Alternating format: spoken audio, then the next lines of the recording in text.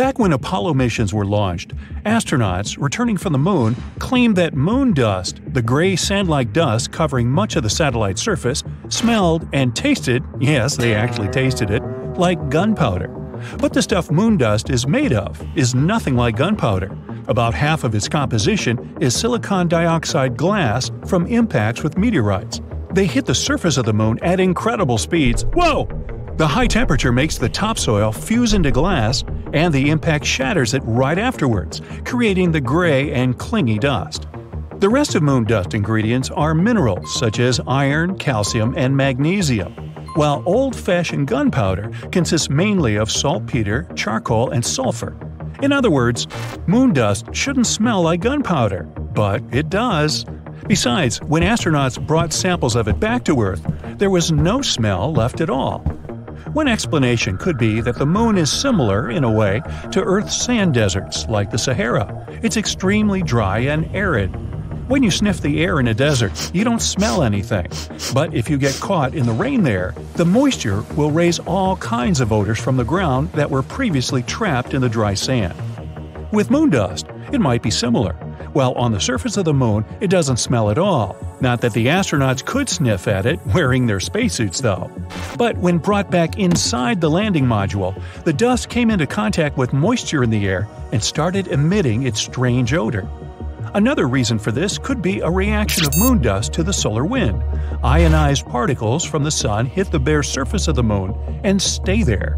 There's no thick atmosphere to protect it from those ions, so they travel freely right to the ground. They're very lightweight, so they can fly off and sort of evaporate from the slightest of nudges. And when astronauts took the moon dust samples to the landing module, those particles could have started moving around and giving off the specific smell. This might also explain why the samples didn't keep their odor when brought back to Earth.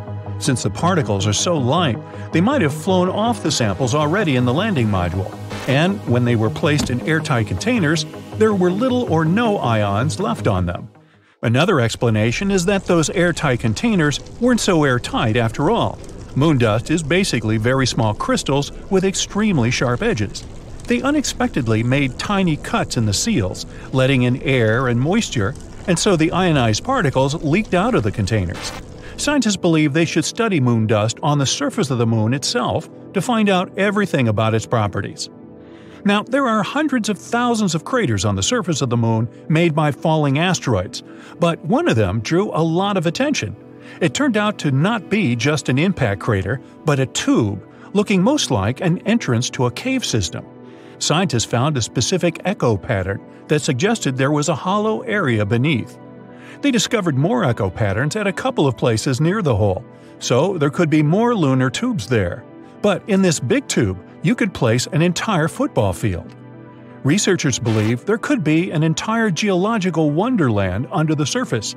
It could be a good shelter for astronauts landing on the moon, or even be a harbor for a lunar colony. No one ever managed to stay on the moon for more than three days because of the conditions on the satellite. Wide range of temperatures, low atmosphere, no magnetic field would protect life on the surface from things like radiation or solar wind. Astronauts wear spacesuits. They can't protect them over long periods of time, but a lava tube could.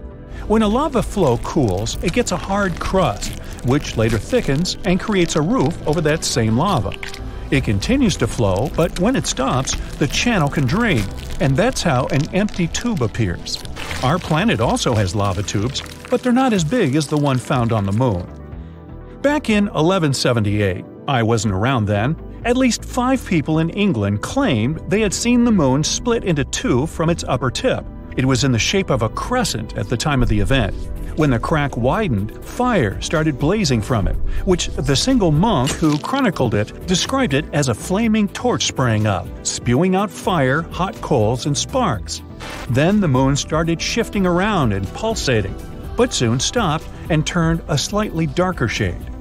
The event didn't receive much attention from scientists, though, until the second half of the 20th century.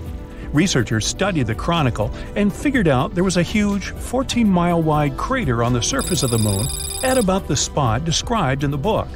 Only a very large asteroid could have left such a scar on the satellite's face. And when they investigated it more closely, they found out it was pretty recent by astronomical standards. In fact, it really could have appeared about 800 years ago. But in that case, millions of fragments from the asteroid and the moon would have hit the Earth as well, and then people would have seen an incredible meteor shower. It would have been very bright, and the memories of it would have definitely been in the archives. But that didn't happen. In addition, many scientists argue that the crater isn't as young as it might seem. The most popular and justified theory is that it's about 1 to 10 million years old. If it had appeared as recently as 800 years ago, parts of the surface of the moon in and around the crater would still have been warm from the impact. The most likely explanation of what really happened back in 1178 is that observers were extremely lucky to see an asteroid falling towards the Earth and burning in our planet's atmosphere. The spectacle would have been incredible, and seen from a proper angle, the burst of the asteroid could have really looked like it was the moon exploding. That would explain why there were so few witnesses of the phenomenon. The right spot to see the show, as they did, was only a couple of miles wide. As for real events on the moon, water and oxygen were unexpectedly discovered on it not long ago. Water might have been brought to the satellite by asteroids hitting its surface, many of them carrying H2O molecules, and those that are left on the moon in tiny amounts after the impact. There's precious little water there, though. By comparison, even the Sahara Desert has more of it than the entire moon.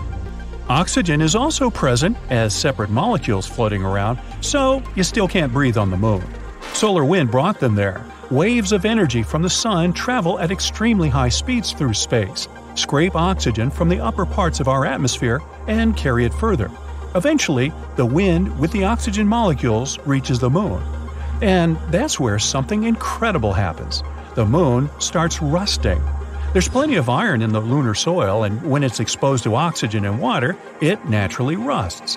Some parts of the moon have actually already turned slightly reddish. They're regions where there's the highest concentration of molecules.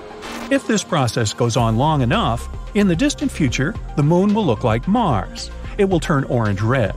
Yes, the signature color of Mars came exactly from the corrosion that began there thousands and thousands of years ago when there were rivers and seas with water and an atmosphere with oxygen.